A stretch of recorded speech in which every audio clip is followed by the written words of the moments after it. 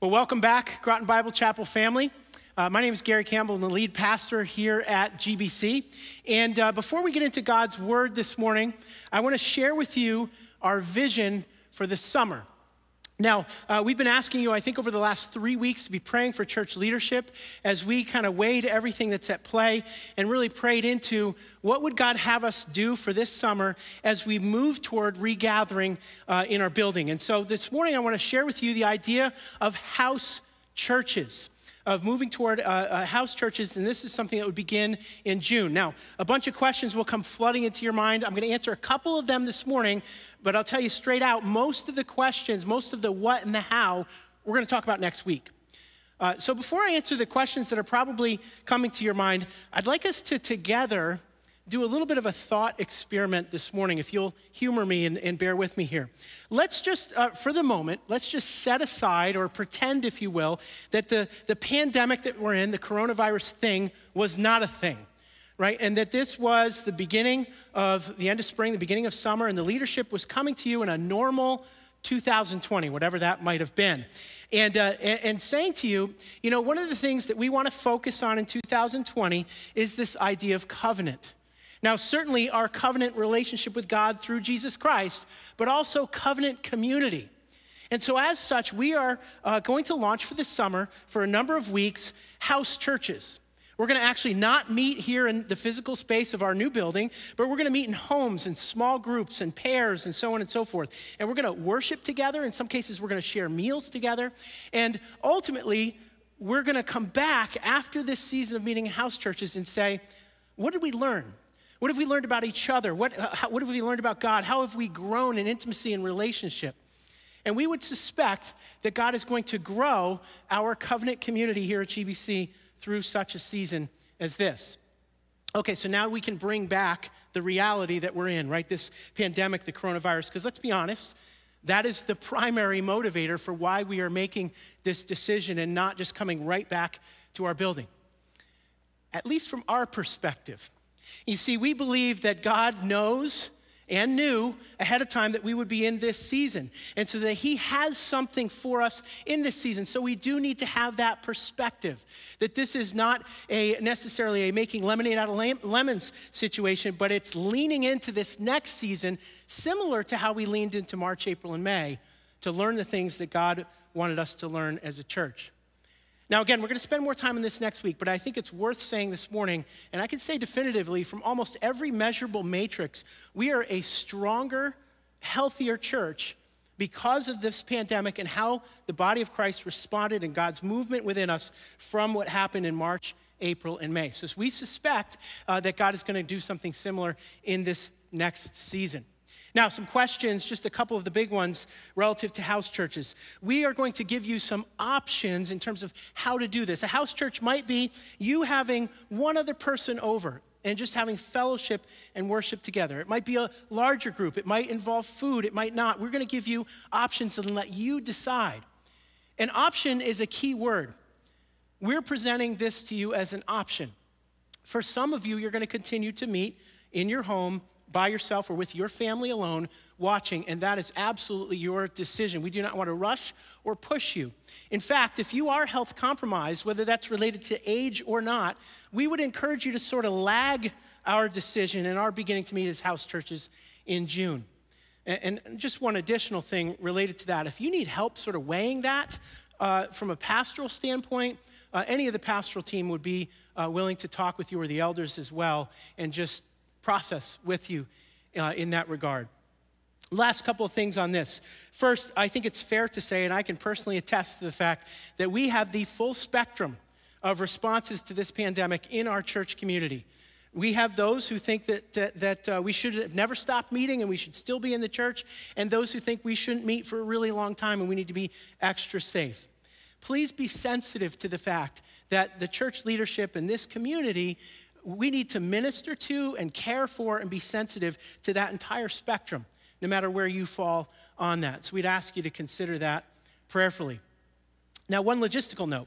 If you hear this and you're energized and excited by this idea, uh, we need you to reach out to us if you're interested in being a host for a house church. Now, this doesn't mean you're committing to it, But if you're interested in knowing more, I want to encourage you to email Zak at grotonbiblechapel.org. That's Z A K at grotonbiblechapel.org, and uh, we'll connect you to the, to the process. We'll get you the information, and uh, we can move on from there. So, we are, in fact, very excited about this idea and uh, ask you to continue to pray on that. Next week, we'll give you sort of the nuts and bolts uh, to this vision for the summer. So, enough about house churches this morning. Uh, the last thing I want to talk about is our upcoming uh, baptism and worship night. This will be our first real gathering together, although it is a drive up event here at Groton Bible Chapel on the campus. And we are going to celebrate. At this point, there are six people who would uh, desire to be baptized, and we're going to worship together. Uh, we're going to sing from our cars. We're going to honk our horns, and it's going to be a great time to at least be able to see each other's faces, uh, to hear the worship of God's people, and to be together. So that's Friday, June 12th, 6 p.m. Put it in your phone, write it down. Friday, 6 p.m., June 12th. So, those are the things that are upcoming. We wanted you to know this morning. Continue to pray for wisdom, for God's leading. And uh, at th- this point, I want to do exactly that as we transition to hearing from God's word. Would you pray with me this morning? Our God and Father, we know that, uh, that this whole season is in your hands that you are sovereign over it, that you are in control. And even as we'll look at this morning, Lord, sometimes we hold in tension the circumstances that we are in and our belief that you're in control. And so, God, would you teach us through this season? Would you give us, oh God, humility and sensitivity? And above all, as we approach your word this morning, Lord, would you give us an open minded heart to hear from you by your Holy Spirit? We pray in Jesus' name. Amen. At this time, we'll hear uh, from God's word.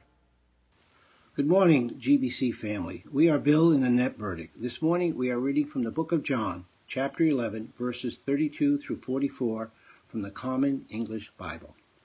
When Mary arrived where Jesus was and saw him, she fell at his feet and said, Lord, if you had been here, my brother wouldn't have died. When Jesus saw her crying, and the Jews who had come with her crying also, he was deeply disturbed and troubled. He asked, Where have you laid him? They replied, Lord, come and see. Jesus wept. So the Jews said, See how he loved him? But some of them said, Couldn't he who opened the blind man's eyes also have kept this man from dying? Jesus was deeply disturbed again when he came to the tomb. It was a cave, and a stone covered the entrance. Jesus said, Remove the stone. Martha, the dead man's sister, told him, Lord, there is already a stench because he has been dead four days. Jesus said to her, Didn't I tell you that if you believed, you would see the glory of God? So they removed the stone. Then Jesus raised his eyes and said, Father, I thank you that you heard me. I know that you always hear me. But because of the crowd standing here, I say this, so that they may believe you sent me. After he said this, he shouted with a loud voice, Lazarus, come out! The dead man came out, bound hand and foot with linen strips, with his face wrapped in a cloth. Jesus said to them, Unwrap him and let him go. John 11, 32 to 44. Well, I want to thank uh, those folks who read for us this morning the scripture from John 11. One of the really neat things about this season has been being able to hear God's word, the Bible being read from different people, seeing their faces, hearing their voices, and uh, that just continues to be uh, a real joy. You know, this passage in John chapter 11, in this account, we see uh, this unique uh, section of scripture, this unique narrative, this story where Jesus' humanity and his divinity. Jesus' twin natures are manifested, are demonstrated in one passage. They're juxtaposed and, and clearly identified. In, in, other words, in Jesus' response, as we heard read to the, the death of Lazarus and the grief of those around him, we see very clearly that Jesus is fully human. But in the, the raising of Lazarus itself, himself, in the miracle, we see his divinity clearly on display. It's what theologians call the hypostatic union of Christ, the perfect union of those two natures, his, full, uh, his hum, human nature and divine nature. If we were to say this to ourselves from sort of an application standpoint, we would say it this way that Jesus, because he is fully human, is completely able to understand my circumstances. And in fact, has compassion toward me. We'll talk about that word compassion later. Jesus, because he is human, completely understands whatever it is I'm going through. But because he is also fully God, Jesus promises so much more than what we often expect, settle for, or even can imagine as we trust in him. If we will just trust in him, he has so much more. That's sort of the theme of our morning. And uh, so this morning, I want to begin actually by backing up. We began this passage uh, with the conversation, the encounter with Mary. I want to back up a little bit. If you remember, Jesus has delayed coming to the village and Lazarus has died. And Martha actually comes out of the village. She meets Jesus, and they have this conversation. And then we get to the, the text where we'll pick it up in a minute with Mary. But in Martha's conversation with Jesus, there were two really important points that come from the three verses at the very end. And they form sort of the footings for the whole passage. You know, this, uh, this spring, uh, my family and I, we took on a building project extending our deck several feet. And in order to do so, we had to put footings in, right, to support the, the structure. In many ways, these two sections, and they are Jesus' claim that he makes to Martha and Martha's confession, are the twin footings in which the rest of the passage uh, rests. And so let's look at Jesus' words. Jesus' claim, he says this He says, I am the resurrection and the life. This is verse 25. The one who believes in me, even though he dies, will live. Everyone who lives and believes in me will never die. Do you believe this? And so Jesus says, sort of backwards and forwards, positively and negatively, he makes this claim. He doesn't just say, and he's responding to Martha earlier, right? Martha earlier has said, Lord, if you'd been here, Lazarus, my brother, would not have died. That Jesus is not just saying, Martha, I have the ability to raise Lazarus. I am the one who gives life. No, he says, I am the resurrection. I am the life he not only possesses the power, he is life himself. And he asks her this question Do you believe this? So Jesus' claim is footing number one. And Jesus' miracle that we already know the conclusion here, right, is the validation of that claim that he is the resurrection and the life. Martha, do you believe this? Martha says this. She says, Yes, Lord, I believe that you are the Messiah, the Christ. I believe that you are the Son of God. I believe that you are the one who has come into the world. Martha's confession is one of the high points of John's gospel. It is this trifecta of confession, and it actually harkens back to three separate confessions of Jesus back in John chapter 1.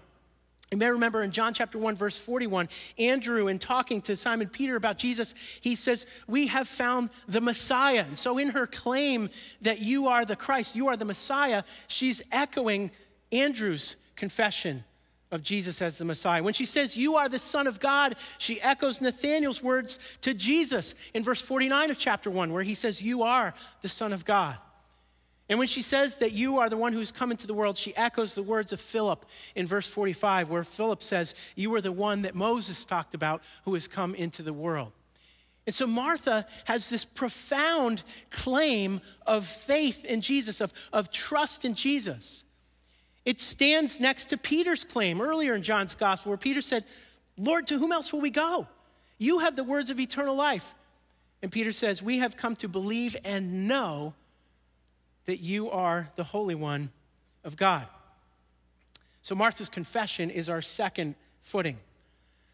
You know, one other note about Martha's confession Martha, you may remember from Luke chapter 10, Jesus is at the home of Mary and Martha, and there's Mary sitting at the feet of Jesus, learning, listening to him quietly. And, and Martha, she's the one who's the frenetic type A person, right? She's ripping around, trying to figure out if all the details are set. She's how I would be acting, to be quite honest.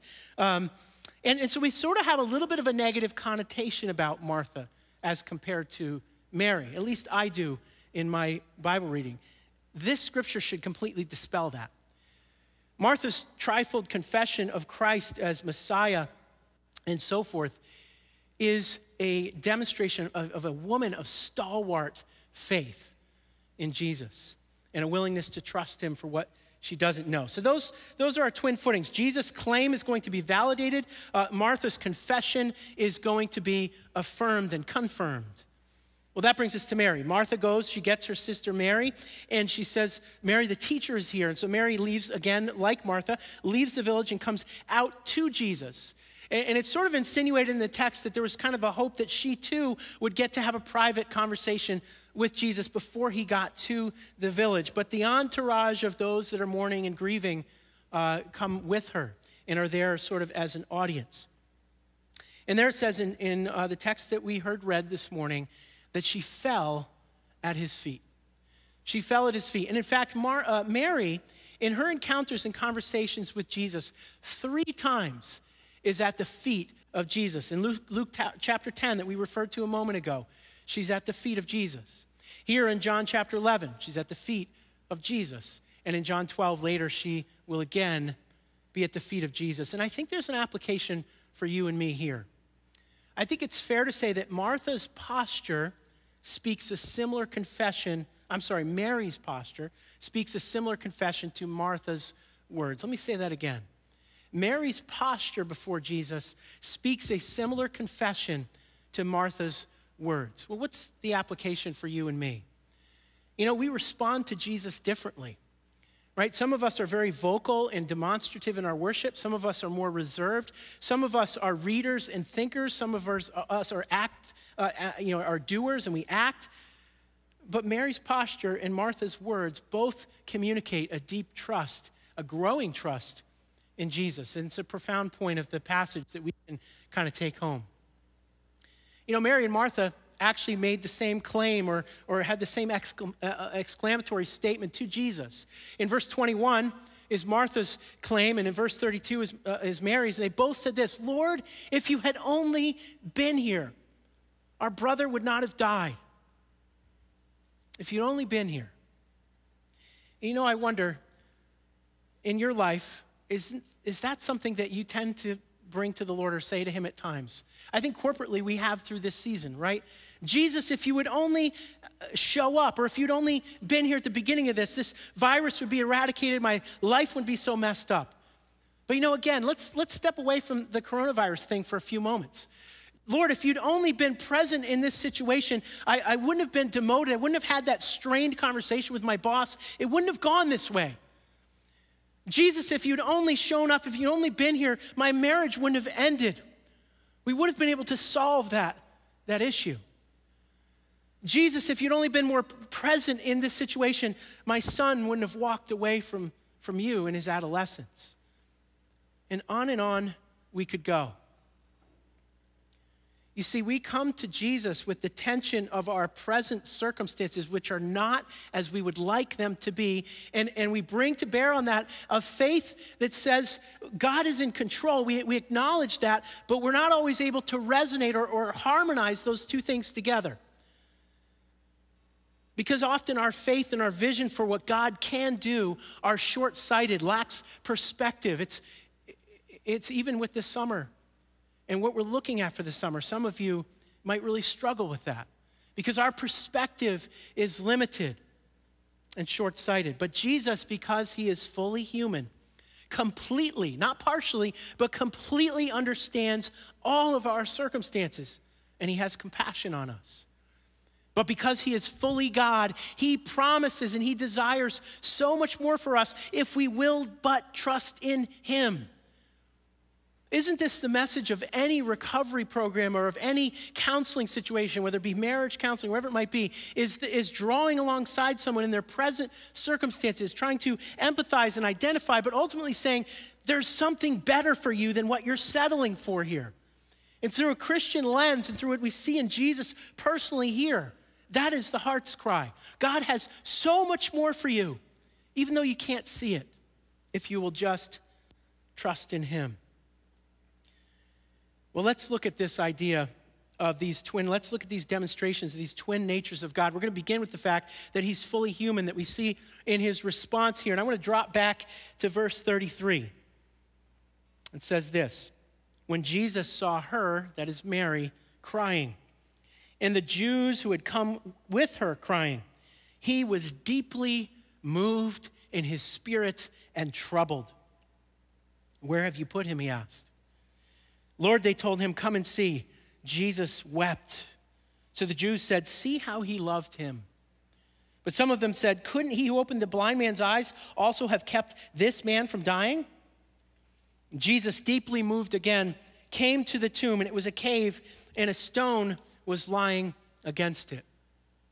Here we have, in essence, the definition of compassion. Now, in the Greek, the word compassion actually has to do with the bowels, even the, the intestines. It's the idea that this affects Jesus to his core, and he responds from the core of his being in his expression of grief and agitation. So the scripture says he is deeply troubled in his spirit and moved. Some of your uh, uh, versions of the scripture will say deeply moved, became deeply agitated, troubled within himself to the point of shaking. And there's both uh, an indignation, it seems like, here, as well as sorrow in Jesus' response is physical.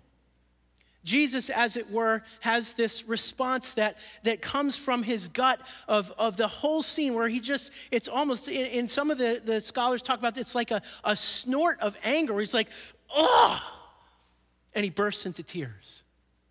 Now, these are not the tears, different Greek word than the tears of, uh, of the wailing of a Middle Eastern mourner. No, these are the, the quiet sobs of someone weeping.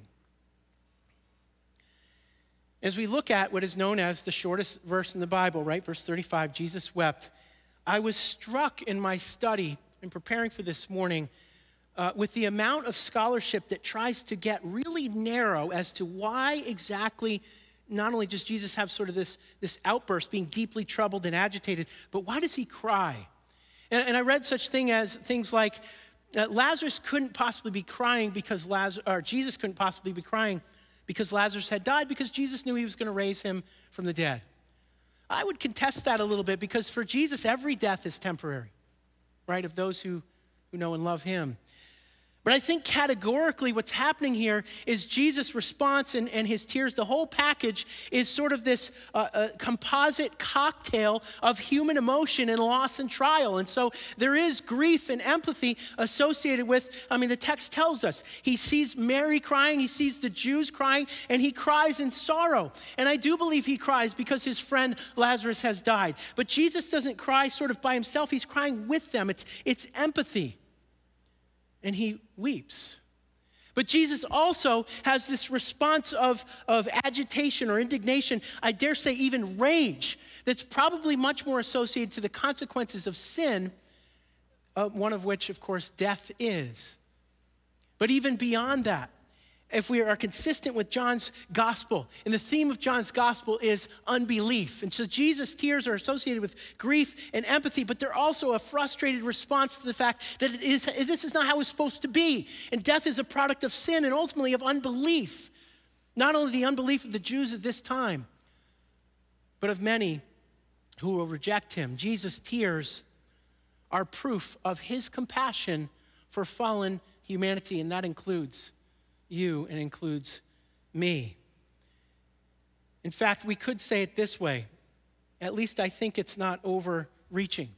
I think Jesus' entire response here sort of embodies the five stages of grief that anyone who has gone through something similar experiences over a season. We know that according to Hebrews, Jesus has experienced all of the trial of human, human existence. And so we see here, because he is fully human, he understands my circumstances. He understands your circumstances. Brothers and sisters, He understands. He gets it. And He has compassion for where you are at, for what you are, whatever it is that you are walking through today. He understands. Jesus in his humanity. I love what Dane Ortlund says in his little book and if, uh, if you're going to read anything this summer, I encourage you to order this book. It's called Gentle and Lowly.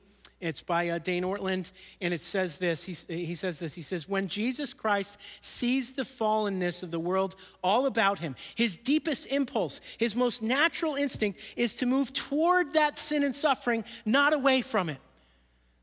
You hear that? Jesus moves towards sin and suffering. And, and as Jesus people, if, as believers in Jesus, we too should move towards sin and suffering, not in a way to, to join alongside, but in, in empathy and in compassion. And I will confess to you that when I hear of people's loss and sin and suffering, praise God, there is a, a move in me, you know, the Holy Spirit just drawing me into that. But there's also a repulsion because I, unlike Christ, am not sinless. There is a protective, selfish self centeredness that also is mingled in there. May we be more like Christ as we learn from him even this morning. Jesus is fully human. But he's also fully God. And in the rest of the text, we see uh, Jesus says, Remove the stone. And then there's this little conversation with Martha where she says, Jesus, it's gonna, it's gonna smell bad. And Jesus says, Ultimately, trust me, trust God. And then he, he prays the Father. He says, Thank you for what you're about to do. And then Jesus says these words He says, Lazarus, come forth or come out. Lazarus comes out. Now, there's some funny points here, uh, at least in our speculation uh, in, in my study that I uncovered. One is uh, some scholars kind of wrestled through this idea you know, what would have happened if Jesus hadn't been clear in the specificity of calling Lazarus' name specifically? Like, what if he had just said, Come out? Would all of the bodies within earshot of those who had died be raised and, and come out with Lazarus? And we don't know, and it's sort of a humorous, humorous speculation, but it shows that Jesus is a mighty Savior. The second thing is just my own imaginings. You know, the text says that Lazarus comes out still wrapped in the grave clothes, and Jesus tells them to take them off. Now, this isn't uh, like Egyptian entombment, but I imagine Lazarus does sort of come out almost like, right, like a penguin, and he has to be unwrapped, and there's this kind of awkward moment. But then there's a subsequent moment and I wonder what that first moment after he's unwrapped, I assume someone puts a tunic on him, right? And he is whole, he's healed, he's restored. But what is that 10 seconds or 30 seconds right after this has taken place? What is that moment like? What would define that moment? What are the first words out of Lazarus' mouth? Did Lazarus know that he was dead? Like, how does this all work? The Jews are standing there. They're all watching. Martha and Mary are there. And there's this seminal moment when the miracle has just happened. Lazarus is unwrapped, and he looks at Jesus. What happens in that moment? What would define that moment? Two words come to my mind if I were there joy, utter joy, just inexpressible, and astonishment. Mind blown astonishment in that moment.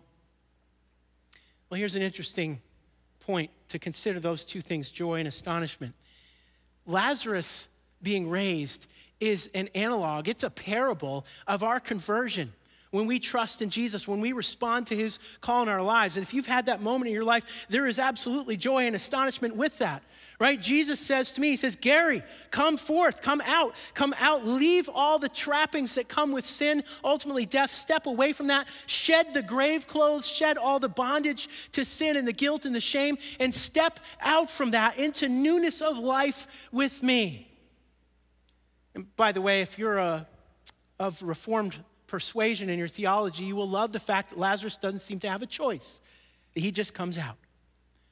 But Jesus calls you and he calls me. Maybe this morning you haven't responded to that call. Maybe this morning you've never realized that Jesus can actually identify what you're going through, nor that He is God and He promises you so much more than what the circumstances that you're in and the future, the destiny that you are headed for apart from Him under judgment for your own sin but that Christ, through his cross, has paid for your sin. And he can call you forth to new life. This is a foreshadowing of what is to come spiritually. Jesus, because he is fully God, promises me so much more, ultimately, resurrection. You know, one other point related to Jesus, uh, the angst of Jesus' response and, and the resurrection here. Jesus knew that because of death and disease and sin and all of it, he was headed to the cross. But he also knew the victory of resurrection. And so Jesus is fully human. He understands what I'm going through. He is fully God, and He promises me so much more. And so this morning, I would say if you're wrestling with Jesus, where have you been or why haven't you shown up? That Jesus is here. And to be a little more specific, we are called to live in his name and to be his presence. We, the body of Christ, those who believe in Jesus, we are to be his hands, his feet, his eyes, and his mouth. We are to draw alongside others in that compassion because he is fully human and completely understands me, because he has been compassionate to me. I, therefore, should be compassionate toward the circumstances of others because he is fully God and he promises me so much more, including resurrection. As I trust in him, I therefore should bring those promises to those that are in dire circumstances to consider what God might have in store for them, both in this life and the life to come. Let me see if I can illustrate this. You see, when the body of Christ lives this way, lives incarnationally, lives as Christ's uh, uh, hands and feet in the world, it, living in this kind of response, lives are changed. They're absolutely changed and transformed. So I want to tell you a story. Uh, this past weekend, we had the first ever uh, online or digital wedding here at Groton Bible Chapel. And so myself and the bride and groom stood up here, and there were a couple of tech volunteers that were in the back, and we broadcast this wedding on the web. And 100 or plus people got to watch. And it was really exciting. It was a special day, it was a special moment, as all weddings are. But it was especially unique and meaningful because of the stories of the two people who were married. Lou Herman and Debbie Roch. Now, eh, what makes a wedding special are the stories, right? The humanity. And Lou and Debbie have just a, a, unique story that reflects what we're talking about here. And so I want to tell it to you this morning in brief. Uh, Lou, uh, Debbie rather, came to Groton Bible Chapel through her former husband, Tom. Lou and Debbie, both, this marriage for them was their second marriage as they both have lost their spouses. But Tom came to Groton Bible Chapel uh, uh through our Celebrate Recovery program. Tom was an alcoholic. And Tom was sort of at uh, an ultimatum place in his marriage, and, and a friend had told him about CR. And so he came to celebrate recovery on a Monday night. And for several weeks, he sat in the back and kind of kept to himself. He was a little reclusive, and, and that was kind of his deal. But in the spirit of what we're talking about this morning, the Celebrate Recovery team, the family, began to just love him and love him and love him. And eventually, Tom's walls came down and he gave his life to Jesus. It was an amazing journey to watch. And Tom began to just soak up God's word and be discipled. And he eventually became a leader in the Celebrate Recovery program. He was a gentle and sweet man who loved Jesus. And then he started to bring, somewhere in that journey, started to bring his wife, Debbie. Debbie, as she said, she saw the change that was going on in her, her, his life. And so she was open to coming. She too came with a little bit of reluctance and standoffishness. And she had her guard up. And the Celebrate Recovery family loved her and loved her and loved her. And she began to walk with Jesus. And their relationship was almost brand new. The alcoholism was gone. They were both walking with Jesus. They were learning so much. It was an absolute story of God's redemptive plan worked out in flesh and blood. And then Tom got cancer. And Tom fought his cancer and he actually overcame it. But through some complications related to his recovery, he ultimately died. But Tom died and went into the very presence of his Lord and Savior. His destiny for eternity had changed forever. But back here, Debbie was absolutely heartbroken. Just heartbroken. And, and, and, I can only imagine that, you know, she has experienced this new life. Her husband uh, is restored and they have this new faith in Christ, and, and then Tom's gone. But I would see her sometimes during the midweek in the evenings or, or of course, on Sunday mornings, and, and she was just forlorn. And, and sometimes she would cry. And I would give her a hug. This was back when we were allowed to remember hugging? But I would give her a hug, and, and that was sort of her status. Well, interestingly, simultaneous to this season in her life, Lou Herman was caring uh, for his wife as she uh, endured a long battle with the cruel disease of Alzheimer's. And Lou said that her, that her, battle with Alzheimer's was something that lasted 10 years, the last two, maybe two plus years of which she didn't know her family or even ultimately who he was. And he described during that season that he actually drew closer to his faith and leaned into his relationship with God, depending on God and learning more of the heart of Christ through that season. And Lou cared for his wife right up to the end. And then she too died. And somewhere in that season, Lou's children were concerned about his emotional state and just the amount of time that he was in isolation. And it was his daughter who said to him, Dad, you got to get out. Is there anybody you'd be interested in spending time with? And this is where the story gets fun. You see, Lou is an alcoholic. Uh, sorry, Lou is an accountant. Very different. Lou is an accountant. And Lou said that he had this client, this couple, Tom and Debbie Roch. And Tom had known of, of Tom's, uh, Lou had known of Tom's passing because Debbie had seen him to do her taxes after Tom had died. And he said, I'd love to spend some time with this, with this woman. And so they began to spend time. They built this deep friendship, initially uh, built on shared experience, right? They understood each other. They had empathy, but they also had a common faith in Jesus. And ultimately, they fell in love. And I can tell you that, that their love, and I don't mean this in any kind of derogatory way or condescending way, was like two young kids just lost in each other, but a, a, friendship that was sort of built and founded in something that was much deeper in the shared experience of coming through trial together. And so last weekend, they were married. It has been the highlight of this Corona season for me personally to watch them be married and to watch their journey. I thank God for it. But it, it, illustrates something really profound that we've talked about this morning.